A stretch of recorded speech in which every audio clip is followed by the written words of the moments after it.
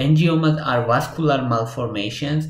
They usually described as small red, pink or purple bumps on skin. They usually are erode and mm, have bump appearance, but sometimes they can be flat. They affect 20% of general population and more than 20% of general population. It means mm, angiomas are pretty common disease and it affects 75% of uh, population aged 75 years or more. It means risk of angiomas increase with age. Most common locations of angiomas are face, uh, neck, and trunk, but they can occur uh, in any part of the body, including internal organs, for example, in brain or uh, eye or liver or different organs. Uh, causes is not known. There is no single cause which can cause angiomas.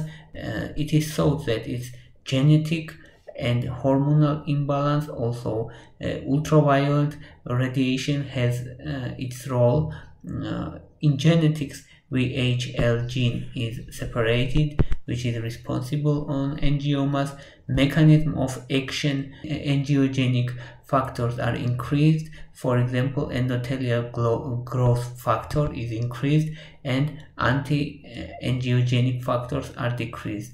That's the idea. So imbalance of angiogenic factors and anti-angiogenic factors. That's the idea.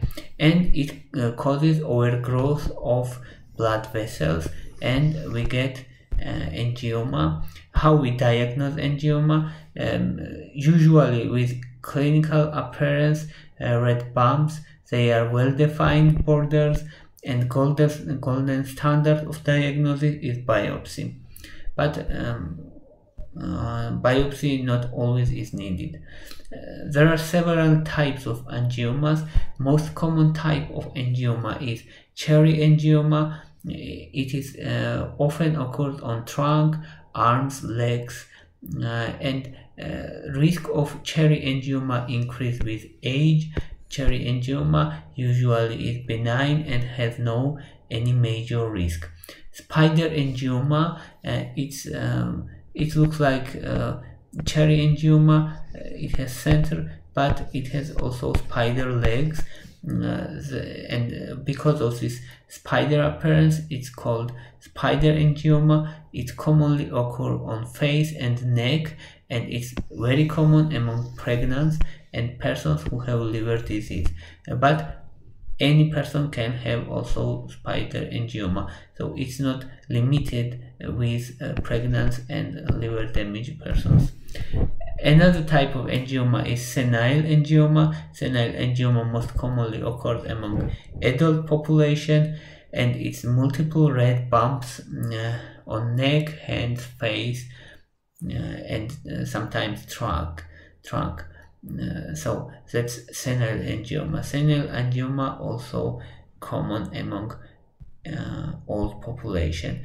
Other types of angioma is cutaneous angiomatosis, cerebral angioma, cavernous hemangioma, and hemangiomas.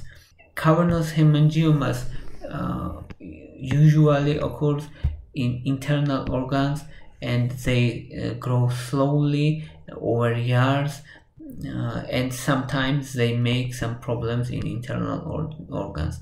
Uh, and hemangiomas uh, commonly occur among uh, newborns and they uh, they can grow fast at uh, at first and then they slow down growing or totally disappear over time. Now what's treatment? Uh, first line of treatment uh, of angiomas is laser treatment. Uh, laser treatment is safe and effective way and it has more than a 90% uh, of effectiveness so uh, it's really uh, first line treatment in any means second line treatment is sclerotherapy sclerotherapy is um, injections also mTOR inhibitors.